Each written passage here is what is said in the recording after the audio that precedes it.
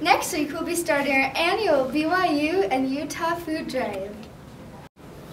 Starting on Monday, September 9th, bring non-perishable food items to show the support for your favorite team. There will be three big garbage cans in front of the media center for you to put your donations in.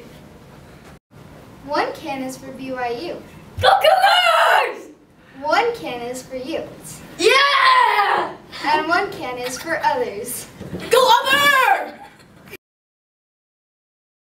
And by other teams, we mean All other teams!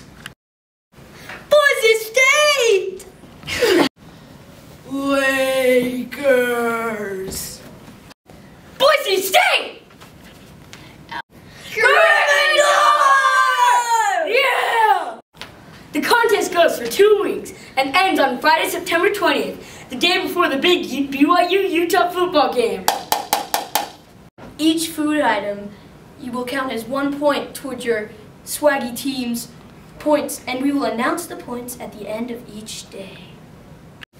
During both lunches, we will also have fun minute-to-minute games.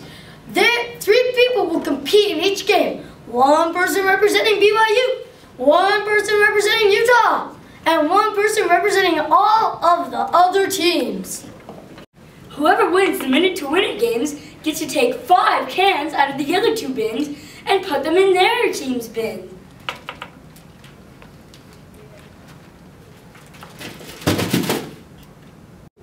please bring non-perishable foods like cans, Woo! box dinners, and everybody's favorite Top Ramen noodles. Top Ramen!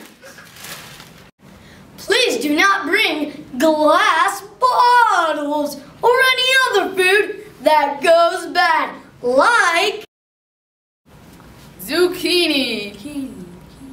Gallons of milk.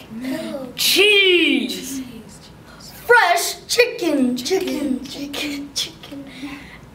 Just to name a few. At the end of each day, we'll count up all the food items and make an announcement to let you know who is ahead.